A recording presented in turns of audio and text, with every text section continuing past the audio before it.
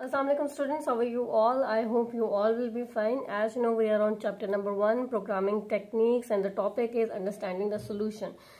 Uh, हमने यहाँ पे जिस थर्ड पार्ट को uh, यहाँ पे एक्सप्लेन करेंगे that will be planning the solution of a problem this is the third stage of problem solving method ठीक है So problem planning the solution of a problem is a creative stage of problem. This is what this is a creative stage of problem. It refers to dividing the solution into steps. हम या इसमें हम क्या करते हैं हम जो solutions होते हैं उनको different steps में divide कर देते हैं and arrange them in proper order और उनको प्रॉपर ऑर्डर में अरेंज करते हैं that will solve the problem जो क्या करेंगे प्रॉब्लम को सॉल्व कर देंगे देखिए यहाँ पे आप करेंगे क्या कि आपके पास प्रॉब्लम आपने प्रॉब्लम को एनालाइज कर लिया, आपने प्रॉब्लम को डिफाइन कर लिया थर्ड स्टेज जो हमारे पास है, अब सोल्यूशन अब उसके सोल्यूशन को अप्लाइन करेंगे। ठीक है? तो अपने स्किल्स के अकॉर्डिंग जो है, आप सोल्यूशन को प्लान कर सकते हैं। यहाँ पे देखें, जैसे मेरे पास टेन स्टूडेंट्स हैं तो मैं एक प्रॉब्लम देती हूँ तो हर एक student according to his mind वो क्या करेगा? इंस्ट्रक्शंस को लिख के लाएगा। ठीक है? ऐसा तो नहीं हो सका कि जो फ़र्स्ट पर्सन जो स्टूडेंट है सेकंड वाले का माइंड भी वैसा ही हो। ठीक है? तो इसका मतलब ये हुआ कि मेरे पास एक प्रॉब्लम के एक प्रॉब्लम के एक से ज़्यादा सॉल्यूशंस हो सकते हैं, ठीक है? स्टूडेंट्स को इनपुट तो सेम ही दी जाएगी लाइक प्रॉब्लम सेम ही दिया जाएगा उनको, ठीक है? आउटपुट भी उनकी सेम ही होगी बट उस आउटपुट और इनपुट के दरमियान में जो इंस्ट्रक्शंस को राइट करेंगे दे विल बी डिफरेंट ठीक है? सो so, हम यहाँ पे हमारे पास सोल्यूशन को प्लान करने के लिए कुछ जो है पॉइंट्स गिवन है यहाँ पे। ये according to the problem number one है ठीक है? हमने प्रॉब्लम नंबर वन को डिफाइन भी किया था। हमने प्रॉब्लम नंबर वन को एनालाइज भी किया। हमने प्रॉब्लम नंबर टू को भी डिफाइन किया था। हमने प्रॉब्लम नंबर टू को एनालाइज भी किया था ठीक है? सो उसको पढ़ते हैं how to discuss the problem आप प्रॉब्लम को कैसे डिस्कस करेंगे? Talk to a right person the person you speak must have the ability to resolve the issue for example store manager business owner और supervisor ठीक है? जिस भी person से चाहे वो सुपरवाइजर सुपरवाइजर हो, चाहे वो स्टोर मैनेजर हो या बिज़नेस ऑनर हो, जिससे भी आपने प्रोडक्ट को परचेज किया था और प्रोडक्ट में कोई इशू था तो आपने उस पर्सन से बात करनी है जिसमें जो आपकी प्रॉब्लम को रिजॉल्व कर सके, ठीक है?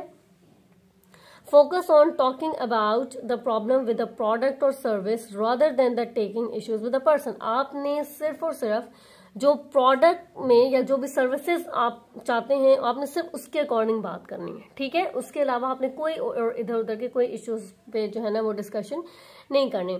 स्टे काम एंड रीजनेबल आपने काम रहना है और रीजनेबल तरीके से बात करनी है। Explain the problem in detail and provide any evidence you है आपने प्रॉब्लम को जो है वो डिटेल से बताना है, ठीक है? और डिस्कस करना है, ठीक है? जैसे आप कंपनी को ये बोल सकते थे कि उन्होंने आपको जो है वो साइंटिफिक कैलकुलेटर की पिक्चर जो है वो दिखाई थी, और उन्होंने आपको सेंड जो है वो सिंपल कैलकुलेटर कर दिया तो आपके पास एविडेंसेस वगैरह भी होने चाहिए, ठीक है? Tell them what outcome you want it is a store or service provider responsibility to resolve the problem, but it can be helpful to ask them for a specific specific solution ठीक है? आप क्या चाहते हैं? आपकी आप क्या outcome चाहते हैं? आप उसको रिप्लेस करना चाहते हैं? आप जो है रिफंड करना चाहते हैं? ठीक है? जो भी आपकी नीड होगी, आपने उनको बतानी है। ठीक है? और ये रिस्पॉन्सिबिलिटी किसकी होती है? वो जो सर्विस प्रोवाइडर जो आपको सर्विस प्रोवाइड कर रहा होता है, ये उसकी रिस्पॉन्सिबिलिटी होती है कि आपकी प्रॉब्लम को रिजोल्व करें। एक्सपेक्ट क्वेश्चन स्टोर और सर्विस प्रोवाइडर में आज यू फॉर मोर डिटेल्स ठीक है? अब सिर्फ़ आप ही क्वेश्चन नहीं कर सकते ठीक है? जो सर्विस प्रोवाइडर होता है उसके वो भी आपसे क्वेश्चन करेगा वो भी आपसे डिटेल्स मांगेगा ठीक है? Asked to us to speak else if you are not happy with the way the, con the conversation is going. Okay to walk away and come back and come later or, or to follow up in writing ठीक है? अच्छा अगर आप जिस person से जिस service provider से आप बात कर रहे हैं अगर आप उसको अपनी बात कन्वे नहीं करवा सकते या वो आपकी बात को नहीं समझ सकता तो फिर आप आपका ये राइट है कि आप उसको बोलेंगे मुझे किसी और से बात करवाएँ ठीक है? Listen to their response ask for the time to to consider it if you need to ठीक है? उनका रिस्पॉन्स का आपने वेट करना है अगर आपको कुछ, अगर आपको टाइम चाहिए तो आप उनसे टाइम भी मांग सकते हैं। अगर उनको जो है टाइम चाहिए कि हमें थोड़ा सा टाइम दें, हम आपकी इस, जो है प्रॉब्लम को रिजॉल्व कर देंगे तो आपने उनको टाइम जो है वो देना है। कंसीडर देयर रिस्पॉन्स उनके रिस्पॉन्स को आपने कंसीडर करना है। Does the response resolve your issue और इट इज़ रीजनेबल कॉम्प्रोमाइज ठीक है?